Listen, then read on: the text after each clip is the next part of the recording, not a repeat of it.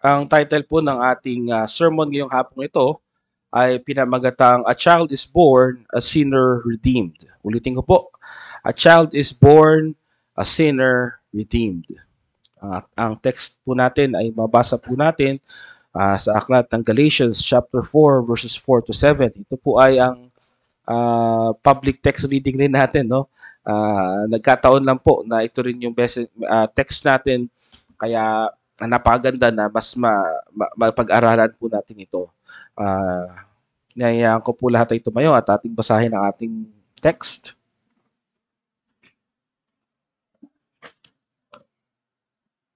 Uh, kung kayo po ay nasa Galatians chapter 4, 4 to 7, uh, samahan niyo po akong basahin ito. Ito ang salita ng Diyos, verse 4. But when the fullness of time had come, God sent forth His Son, born of a woman, born under the law to redeem those who were under the law so that we might receive adoption as sons. And because you are sons, God has sent the Spirit of His Son into our hearts, crying, Abba, Father. So you are no longer a slave, but a son. And if a son, then an heir through God. Pagpalain ang pagkabasa ng salita ng Diyos. Tayo po'y makaupo. Ang aklat po ng Galatia ay naisulat po ni uh, Apostol Pablo at ito po ay uh, ang ika up siyam na aklat sa New Testament. At ito po ay makikita natin no isa sa mga controversial na mga aklat dahil walang intro-intro si Pablo kanyang inadmonish kaagad ang iglesia na sinusulatan niya. Ito po sinulat niya sa mga uh, iglesia sa uh, Galatia na pinamum, pinaghahaluan uh, ng mga hentil at mga Hudyo na mga mananampalataya. At makita natin napakabigat ng kanyang mga uh, salita. Hindi siya nagtipid ng mga salita upang i-address ang mga mananampalataya sapagkat napakabigat din naman ng kalaban ni Pablo dito. Ang kalaban niya ay mga false teachers, false teachings, at even yung good teachings na kinokorap. Sa madaling salita, may mga magandang turo naman, ngunit pagka in-apply outside of the scriptures ay nagiging makasalanan. Gaya ng circumcision. Hindi po masama ang circumcision. Ito po ay uh, tawag dito, uh, in-institute ni God as covenant sign with Abraham at sa mga sumunod na mga henerasyon ng mga Israelita. Ngunit ito'y nagiging masama kung ito ay gagamitin pa para uh, maidagdag sa pagliligtas o sa paraan ng kaligtasan ng isang Kristiyano. So, napakabigat po ng mga kalaban dito ni Pablo, kaya napakabigat din po ng mga uh, salita niya. Kaya po ito ay napakahalagang aralin din natin sa panahon ngayon sapagkat hindi man circumcision o ibang paraan ang idinadagdag sa ebanghelyo, ang dami rin namang dinagdag. O yung iba nga, nagbabawas pa. Kaya ngayong araw na ito sa ating pag-aaralan, titignan po natin kung anong implikasyon ng kapanganakan ni Kristo Jesus sa pagliligtas ng isang makasalanang gaya natin. Mayroon pong isang very famous uh, hymn writer na nagsulat din ng very famous hymn uh, sa uh, history, especially in American history. At uh, siya po ay lumaki bilang isang uh, maglalayag o sailor. At napakabata pa niya nung siya ay iniwan ng kanyang ina at dahil po doon lumaki siya ng uh, kailangan niyang mag-mature at siya po ay naging uh, tripulante no? At sa edad na 11 years old no? Siya ay naglayag. 11 years old pa lang eh nasa mga ship na siya at ang mga ship na pinuntahan niya ay yung mga slave ship o yung nagtitrade ng mga alipin sa Africa, dinadala sa North America at sa iba't ibang mga bansa. Eventually, sa tagal ng kanyang experience, he rose to the ranks of a captain. He captain a slave ship. At ito ay uh, nag, naging dahilan ng pag-expose niya sa napaka sama at napaka hirap na pinagdadaanan ng tao uh, bilang isang alipin. Nakita niya kung gaano ka sama, gaano ka rumi, gaano ka wasak no ang slave trade na iyon. Nung siya ay uh, ah, 23 years old, siya ay nakaranas ng uh, life-threatening na bagyo na kung saan yung kanyang barko na pinag uh, uh, tawag dyan, pinag uh, captainan ano term doon? Yung kanyang nililid na barko ay muntik-muntika ng lumubog. At dahil po dyan, siya ay uh, tumawag sa Diyos at siya ay nagsisi at humiling sa Panginoon ng kaligtasan. Humiling siya sa Panginoon na, Panginoon, iligtas mo ako ligtas mo ako at ako'y bigyan mo ng, uh, kumbaga, ng biyaya. Bigyan mo ako ng grasya. At dahil po doon, siya'y pinakinggan ng Diyos. At tinanggap siya ng Diyos. Kahit napakasama niya, kung malalaman niyo lang po kung ano ang slave trade nung panahon nila ay napakasama po talaga. Tatanggalin mo ang isang pamilya sa kanilang komunidad, dadalhin mo sa ibang bansa at wala kang pake kung meron silang naiwang mga anak, naiwang pamilya o kung ano paman. At karamihan pa doon, there's also the story na habang sila ay nandoon sa barko, nagkakaroon pa ng mga abuses, yung mga kababaihan na rape. At itong taong ito ay isa sa mga nag-indulge sa ganong kasamaan. Ginagahasa nila yung mga babae at sinasaktan nila. At napakasama ng kanilang uh, pamumuhay. Ngunit sa biyaya ng Diyos, nung sila'y muntikan ng lumubog, siya ay nanalangin sa Panginoon na, Panginoon, patawarin mo ako, iligtas mo ang aking buhay. At sa biyaya ng Diyos, on that perfect timing, God heard his prayers and God received him. At sa kanya ay nabuhay, sa kanyang kaalaman, nabuhay ang salitang grasya. Siya po ang nagsulat ng pinakapopular na himno sa Amerika na Amazing Grace. At ang pangalan po niya ay si John Newton. Hindi po ba napakaganda na makita na ang nagsulat pala noon ay napakasama. Ngunit biniyayaan siya ng Panginoon ng kaligtasan.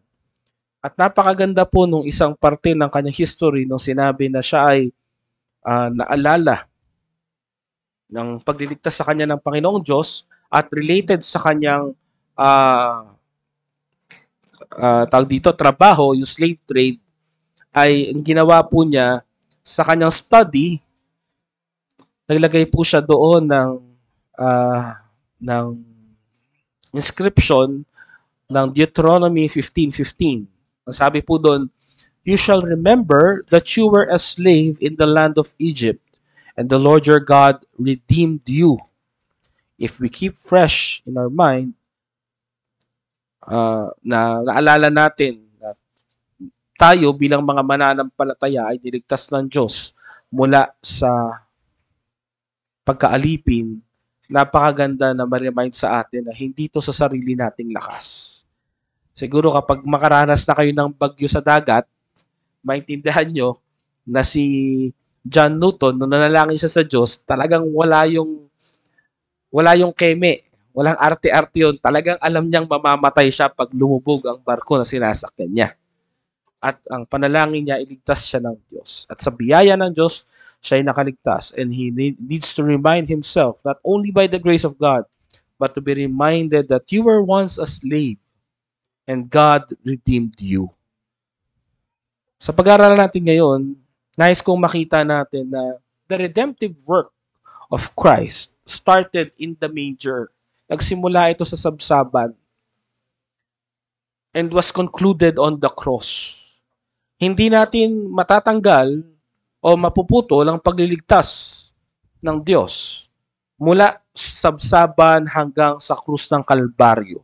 Ito ay magkakonekta hindi natin pwedeng i-celebrate ang Pasko o pag-alaala sa kapanganakan ni Kristo without uh, bearing the cross in our minds. na si Kristo Jesus ay pinanganak bilang isang helpless babe, isang sanggol, eh, kagaya ni Hugo, no? Walang kalaban-laban. Nahiga sa sabsaban in swaddling cloths and uh, he, he was taken care of. Kinailangan siyang alagaan.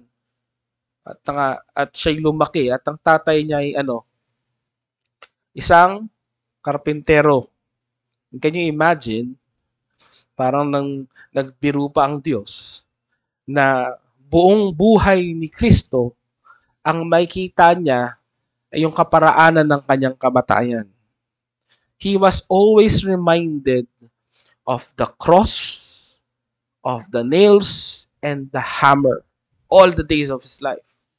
Alam niya yon sapagkat habang nagpupukpok ang kanyang tatay, nagkukumpuni ng mga mga muebles, gagawa ng lamesa o ng mga tokador at kung ano pa man upuan, nakikita niya.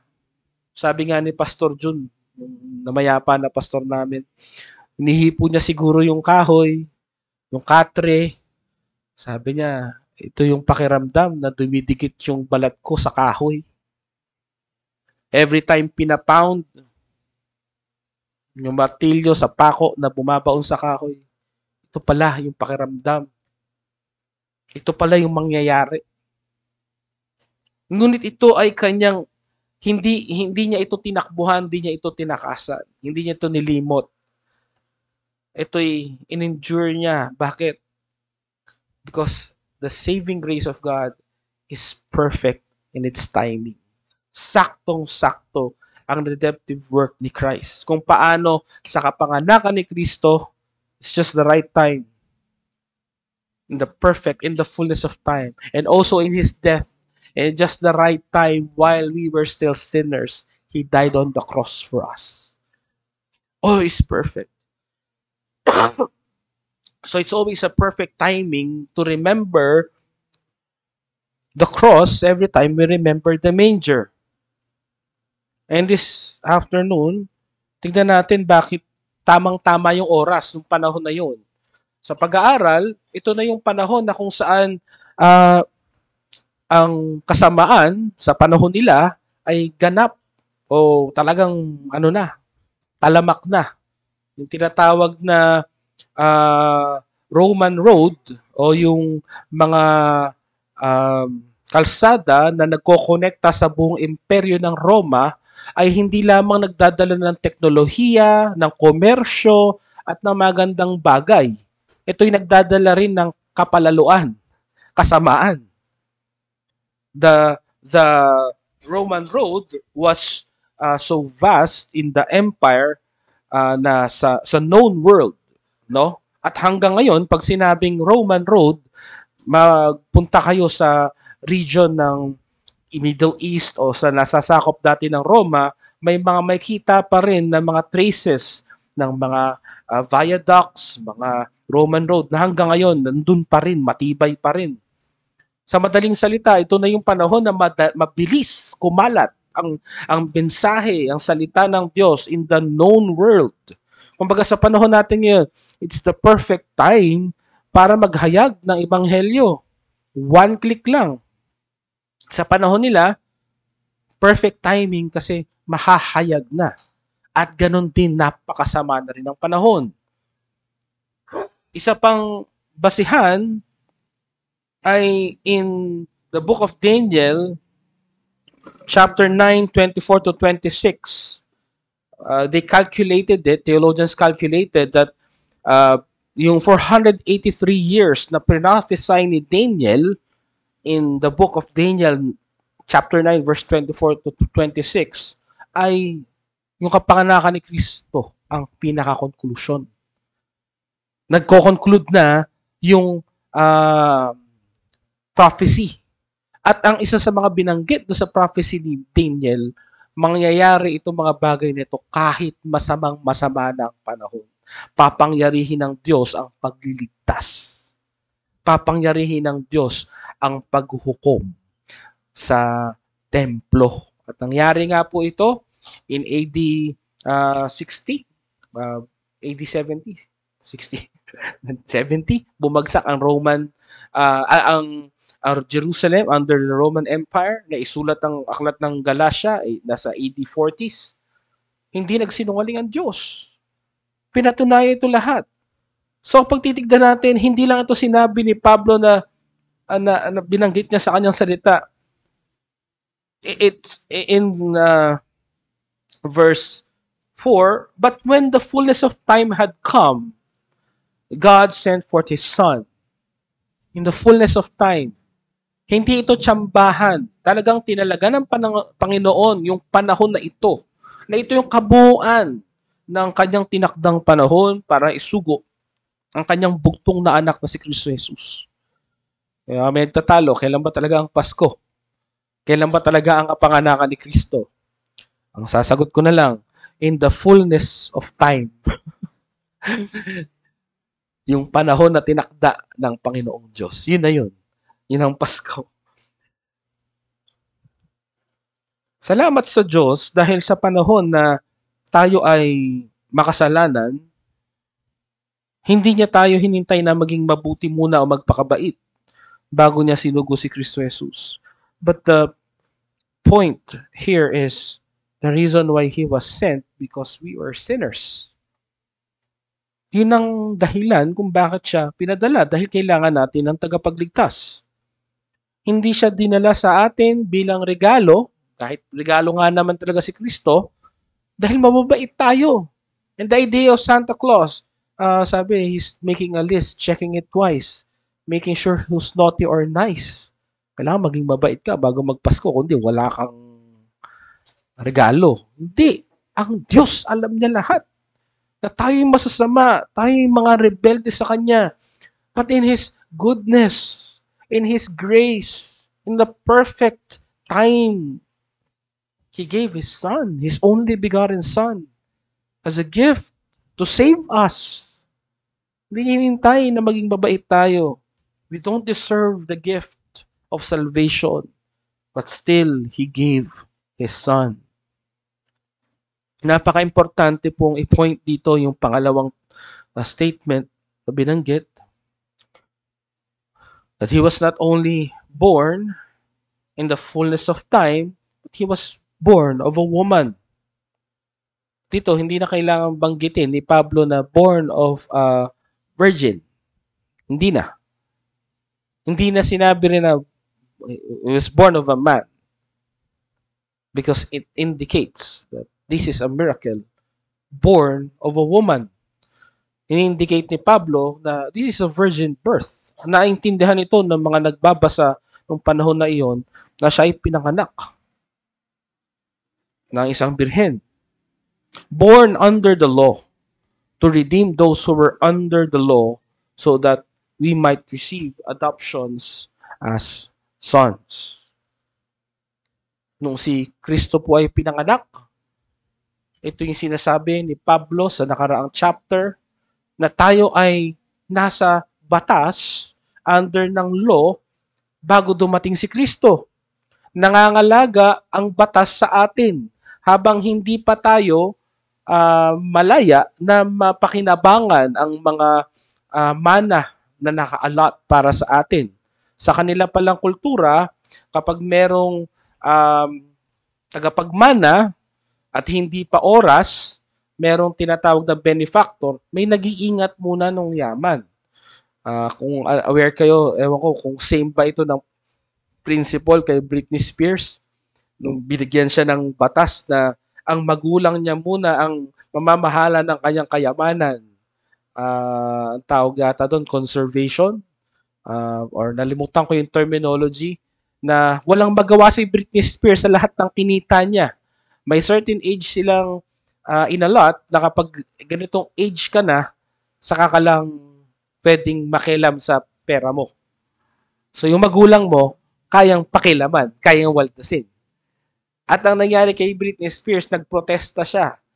Sinabi niya na, hindi, I am an adult. I am well and able. I'm not crazy. Kaya may mga controversy na nangyari kay Britney Spears at nagkaroon pa yan ng documentary kung papaano niya nilaban yung kanyang karapatan.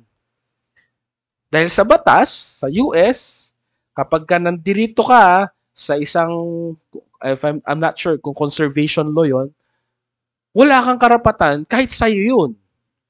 Kailangan mong magpasakop sa magulang mo. At kung ano man ang gawin nila doon, wala kang magagawa. Kahit ubusin nila yun. Dahil nasa kanilang karapatan. Nanalo po siya eventually. Napakinabangan yung mana niya. Somehow, ganito rin pala nangyari sa panahon nila. Kaya kung babasahin natin yung nauna na chapter, atras po tayo, sa chapter 3, sabi po dito sa verse um, 23, Now before faith came, we were held captive under the law imprisoned until the coming faith would be revealed. So then the law was our guardian until Christ came. The law was our guardian. Bakit? Kailangan ng batas, kundi wasak ang mga buhay na magpapatayan tayo. Sisirain natin ng isa't isa. In order that we might be justified by faith.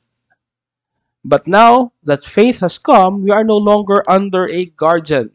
For in Christ Jesus, You're all sons of God through faith. For as many of you as were baptized into Christ have put on Christ.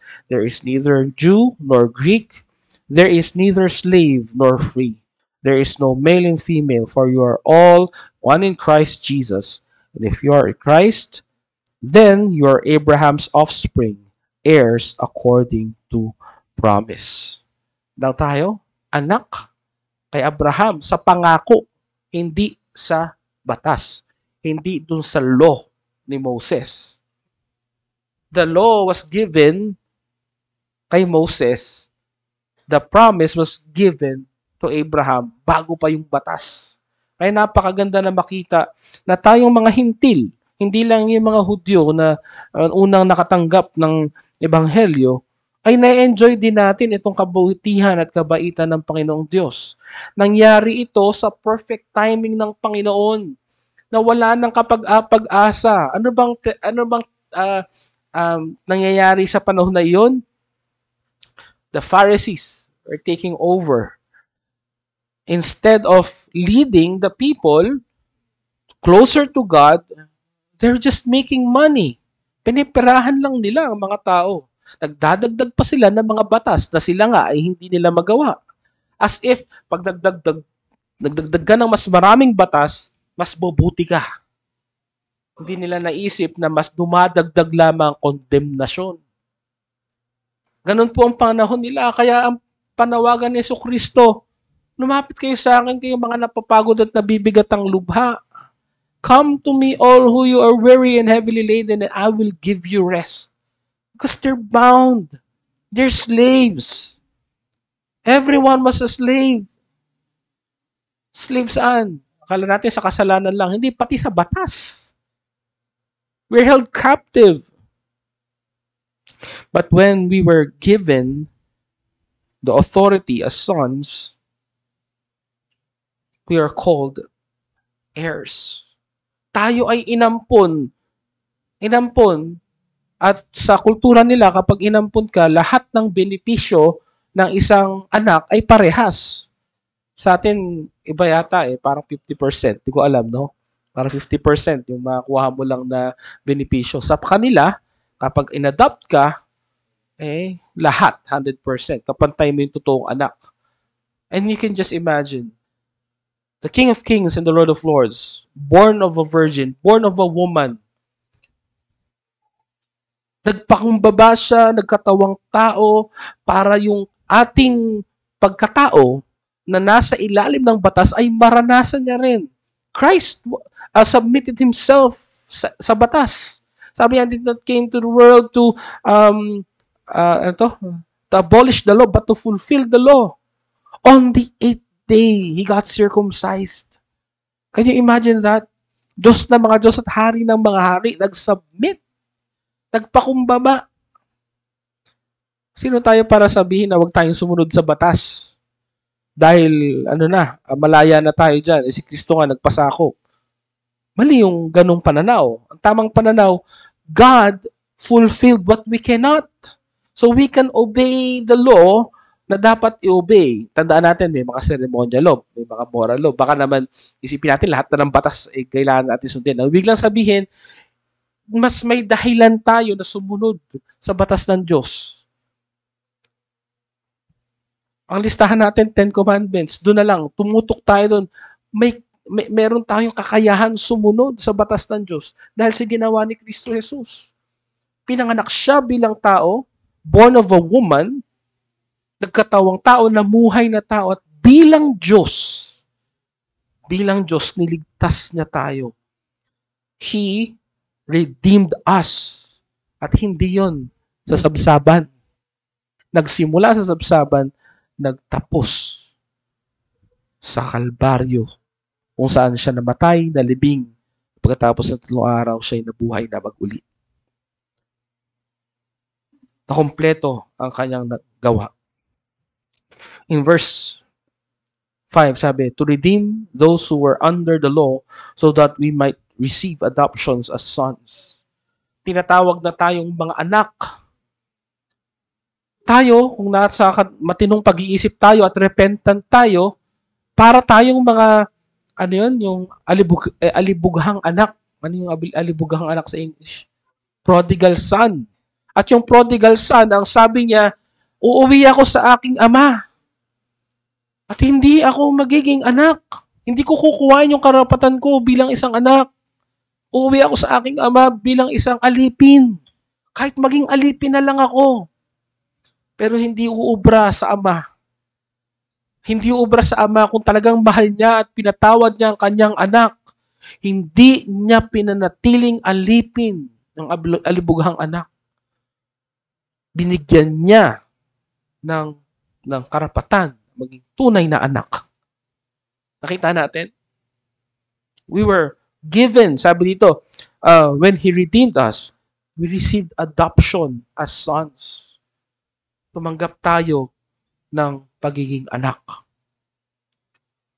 Sabi ng isang komentarista, hindi ito isang bagay na ni-restore sa atin ang sonship. Hindi. Ito, ito ay isang bagay na ibinigay sa atin. Because Adam was not given the right to be son. Kagaya ng right natin as Christians to be sons ito'y binigay sa atin ngayon. Mas maganda yung naranasan natin kesa kay Adan. Na tayo ginawang mga tagapagmana. Tayo ginawang mga anak. So sa atin pong pagtatapos, gusto ko pong makita natin ngayon yung tatlong bagay na wag nating kalilimutan lalo sa panahon na ito. As we remember the birth of Christ sa season na ito, Let's always remember that it it didn't uh, stop in the manger. It was completed in the cross. Ang ginawa niya ay una, pinalaya niya tayo sa pagkaalipin. Bilang mga alipin, wala kang karapatan. Wala tayong karapatan mag-demand ng kahit ano. Eh ngayon, entitled na mga tao. Pauwi kami, galing Legazpi na kami, no? Pauwi na, huling pass na sasakyan namin tapos alam niyo yung basta sinakyan namin, tatlong upuan. Yung magkakahiwalay, may aisle, yung new normal setup. Tapos reclining, papahinga na ako, eh, inuubo ko, may lagnat. Pero yung ubo ko pa, pabuga, parang ngayon, pabuga-buga lang. Ngayon, yung senior citizen na nasa harapan ko, uh, na natutulog, maya-maya, kinalabit ako, ginanon ako, sabi sa akin, Noy, baka pwedeng pigilan mo yung ubo mo. Kasi senior citizen ako eh, kailangan ko matulog. Hindi ko alam yung una, I was shocked. Paano pipigilin yung ubo mo? So iniisip ko, ano, ano nagbibiro ba to? Kasi unang-una, napakalakas ng television. Nasa harapan siya ng TV eh. Maingay. Maingay yung driver, yung mga iba, may nag-YouTube, maingay. Yung ubo ko lang talaga yung pinansin niya. So sabi, anong tapos sabi ko, ay, si Amor na yung sumagot. Muntik na yung makalimutan na Christian kami. sabi ni Amor, na hindi niya pigi- pwede pigilan yung ubo niya. May sakit sa puso yan. Sagot ba naman, eh yung mister ko may sakit din sa puso. Na, pa, hindi ko na kinakaya yung logic ni nanay eh. So, sabi sabi ni Amor, eh pagka inatake sa puso yan pa, eh dapat sa hospital kayo. Eh di lalo na ako na-stress. So, tumayo na ako. Buti yung sakyan namin, maluwag. Pwede ako lumipat. Lumipat na lang ako sa likuran ni Amor. So, sabi ko, Nay, sana na gano'n na lang kayo. Nag-private car na lang kayo, Nay. So, dahil pa niya sinasabi. Sabi ko na lang, sige, Nay, good night na. Tulog na po kayo. Natawa ako doon sa entitlement niya. Kasi senior citizen ako. Kailangan pigilan mo yung ubo mo. Huling hirit ko na lang, pabiro na lang, sabi ko, sige po na, ubo na lang ako paloob. Kasi it is so rude. It is napaka-entitled. Sabi ko nga, magiliw ako sa mga senior citizen. Pero first time ko naka-encounter ng ganun. Sabi ko, talagang sinusubok yung pasensya. Siyempre, may sakit ka, ano man lang yung, may malasakit yung tao sa kapwa mo, ay inuubo, kaya mo na. Diba, nakamask naman, ganyan. And then, I remember, itong, itong sitwasyon natin, na tayo ay walang karapatan. Bilang isang alipin, hindi tayo pwede magreklamo sa Diyos. Pero anong ginawa niya sa atin? Kahit sa ating kasamaan, kahit sa ating mga kasalanan, pinili niya pa rin na tayo biyayaan. Paano si John Newton, na isang slave trader, rapist, masamang tao, maraming sinirang buhay na pamilya, pinatawad niya. At nakapagsulat ng napakagandang hymn, Amazing Grace, how sweet thy sound, that saved the wretch like me. I was once lost, but now I'm, now I'm found. Was blind, but now I see. Hindi niya lang tayo pinalaya sa ating pagiging alipin. Tayo ay diniklara niya rin at inampon bilang mga tunay na anak tunay na anak ha. Hindi peke, hindi sampid, hindi, sorry for the term, hindi bastardo. May pangalan ka. And you bear the name that is above all names. You are a Christian. We are a Christian. Wala nang ibang pangalan pa mas tataas sa pangalan ni Yesu Kristo. At dahil dyan, tayo ay nakalaya sa kasalanan, meron tayong pangalan at meron pa tayong mamanahin. We are heirs, tagapagmana. At anong mamanahin natin? Ang daming pagpapalang minamana natin this side of heaven until He returns. Dito pa lang anong pinana natin? Binigay sa atin ang banal na Espiritu ng Diyos. At ang banal na Espiritu ng Diyos ay may bunga Nandiyan ang love, joy, peace, patience, kindness, goodness, gentleness, faithfulness, and self-control. Sabihin nyo nga sa akin kung hindi masaya ang Pasko nyo. Wala kayo natanggap na regalo. Doon pa lang, panalo ka na. Araw-araw nandyan. Ang bunga ng banal na espiritu. Nakakatawa, pag bagong taon, kailangan daw maraming prutas, yung bilog. Ay yung prutas ng banal na espiritu, ang dapat meron ka araw-araw hindi yun swerte, pero pinagpala ka doon. Amen. Gusto kong makita natin na ang pagiging tagapagmana natin ay eh dito pa lang na-enjoy na natin. Meron tayong buhay na walang hanggan na hinihintay. Meron tayong gloria na hinihintay. We'll be glorified. We'll be stripped off from all this sinful nature in us, in this body of death. Do you know what's the beauty? of being adopted as sons. Alam niyo po, nung dumating kami sa bahay nila mama, hindi niyo mayakap si Seven kasi may putsipon kami ni Amor. Hanggang tinginan lang kami, hanggang kawayan lang. Kanina hindi ko natiis. Talagang eh, bagong ligo naman ako, nakabisa akong bagong damit, alcohol. Kinuha ko siya. Kinarga ko. First time na, si Seven kasi hindi naman yun yung, basta pagkarga mo siya, karga mo siya. Sa mga nakaranas First time namin naranasan na niyakap kami ni Sebi na mahigpit. Talagang miss na miss kami. Tapos ayaw niya bumitaw. Nalulungkot kami ni Amor, pero ganun talaga. And then when I read this, verse 6, And because you are sons, God has sent the Spirit of His Son into our hearts, crying, Abba, Father. He sent His Holy Spirit crying out, Abba Father. Yung pinag-aralan nila, itong Abba Father na term, minsan natatawa tayo, mga reformed kasi tayo eh. Tatawa tayo sa mga charismatic na gumagamit ng Daddy God, mga ganyan. Pero when when they studied this, ang tama pala yun. In application na isang ama at anak na kung anong tawag kunyari ni Juan kay Mimon, yun ang tawag niya in intimate relationship. Wala ibang tatawag ng ganun sa kanya, sa, kay Mimon. Hindi yung mga anak niya. Parang sa akin, kay Amor, ang tawag sa amin ni Seven, dapat, kung marunong siya magsalita, Moma at Popa, yun ang tawagan namin. Walang ibang tatawag ng ganun sa amin. Ganun din, in, in, in application, our hearts cry with access to our Father.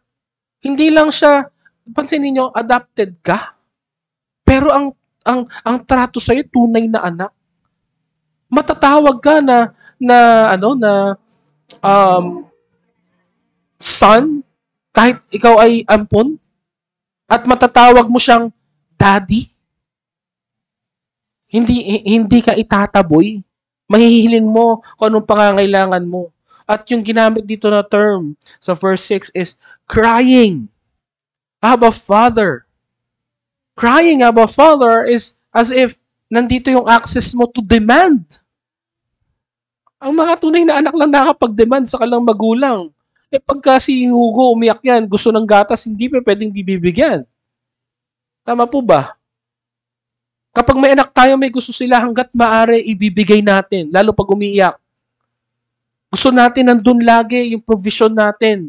Ganon din yung access na binigay sa atin ng Diyos sa lahat ng mabuting bagay. Kaya mga magulang, mga kapatid, mga minamahal, hindi lamang pinanganak si Kristo Jesus. May ginawa siya. He redeemed us. Tayo'y tinubos niya, niligtas niya. So the story of Christmas Eve or Christmas Day is not just about the manger. It's about the finished work of Christ that culminated from the manger to the Calvary. Makita natin yung koneksyon na ito na hindi natin mahihiwalay sa kahit anong paraan sa ating pamumuhay bilang mga mananampalataya, makita natin kung anong kagandahan ng relasyon natin sa Diyos. Na makalalapit tayo sa Kanya, makatatawag tayo sa Kanya, at hindi niya tayo itataboy. Pagkos ibibigay niya ang mabuting bagay sa atin. Tayo po ay manalangin. Aming Ama, marami pong salamat sa iyong biyaya na kami po ay hindi man karapat dapat. Kami po ay tinanggap nyo bilang mga anak sa pamagitan ng inyong anak na si Kristo Jesus. Hindi man kami karapat dapat, Panginoon, binigyan niyo kami ng mamanahin. Sa lupang ito, Panginoon, halos wala kaming makuha, Panginoon, pero sa inyo, nasa inyo lahat ng pagpapala na matatanggap namin. At ito itong mga mamanahin namin, ito ay hindi nawawala, hindi na nanakaw, hindi na de-devaluate, Panginoon Salamat o Diyos dahil sigurado kami, Panginoon, secured kami sa aming mga buhay. Meron kaming tagapagligtas na hindi nagmamaliw ang pag-ibig. Meron kaming Diyos na hindi nagmamaliw ang pag-ibig sa amin. May banal na Espiritu na patuloy kami sinasamahan sa araw-araw. Salamat o Diyos sa pagpapaalala Diyos sa amin na sa kapanganakan ng inyong anak si Kristo Jesus, merong mga naligtas may mga tinubos na gaya naming mga makasalanan. At dahil dyan, patuloy namin kayong pupurihin at sasambahin. Patuloy namin kayong dadakilain, Panginoon. Dalangin sa pangalan ng Panginoong Yesus. Lahat ay magsabi ng Amen.